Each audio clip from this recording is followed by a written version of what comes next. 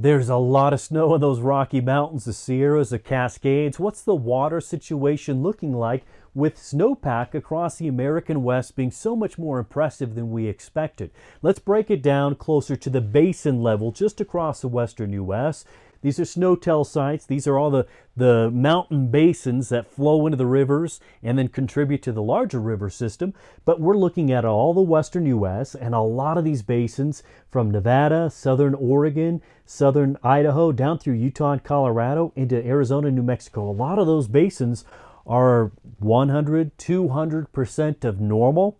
And that percent of normal is considering how much snow is on the ground waiting to be melted. That's the snow water equivalent. Then you get way up to the north and we're not doing quite as well, but generally speaking, everyone across the west is having a much better water year than expected. So focusing on the amount of snow water equivalent, SWE, S-W-E, how much of this is going on for the Rockies that are going to feed into the Colorado River Basin, as well as the Wasatch Range. Don't want to forget about that range as well. So let's take a look at that now. Again, this is percent of average of how much water is sitting there in the snowpack. So just looking at those SNOTEL locations, those snow measuring sites that will contribute into the Colorado River Basin, there's a lot here to catch your eye.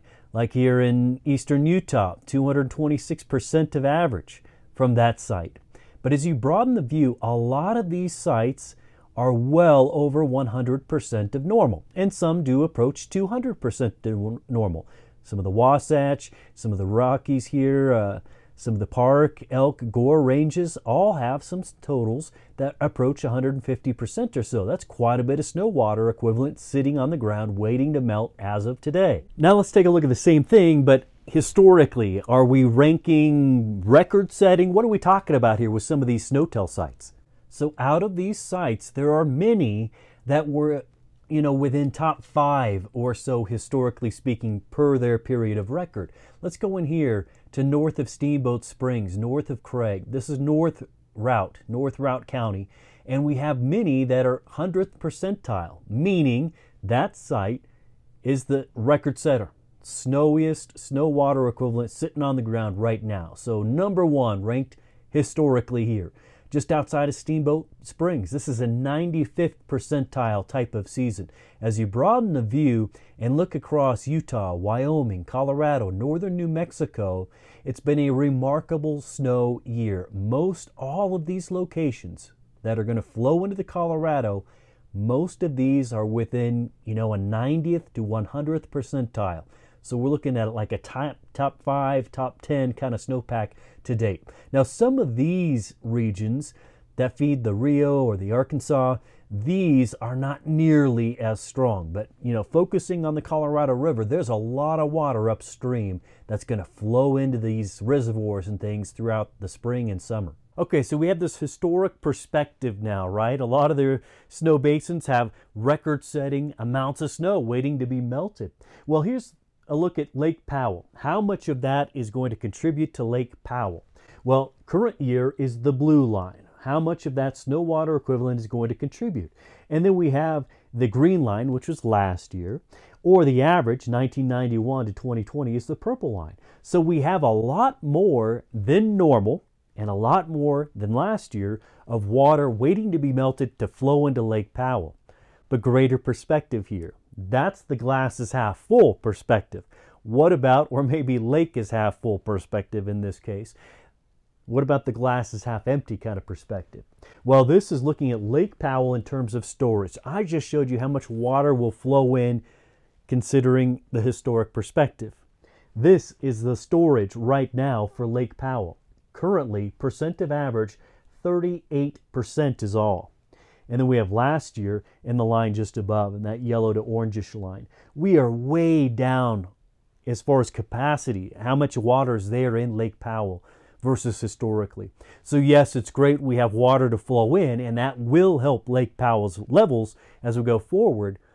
But right now, we've got such a deficit to overcome that it's going to take a long time. Let's take a look at Lake Mead. Similar situation. This year is the black line, representing 45% of its average storage is contained there now.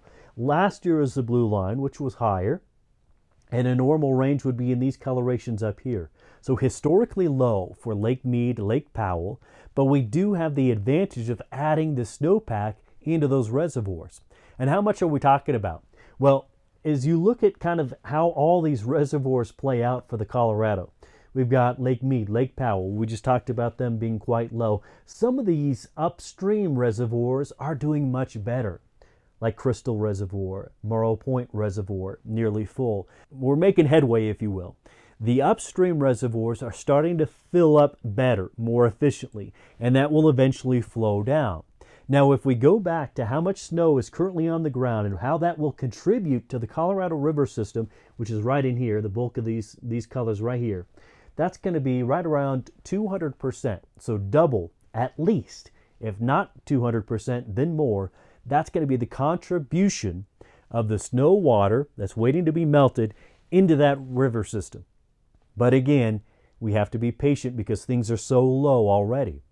It may take four, five, I've heard some researchers say six or seven years of seasons just like this to fully replenish the Colorado River system.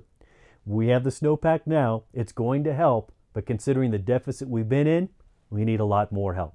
And the West may get more and more water, especially as we go throughout the summer. There's your summer outlook video. It breaks down the likelihood of El Nino coming into our western neighborhoods this summer.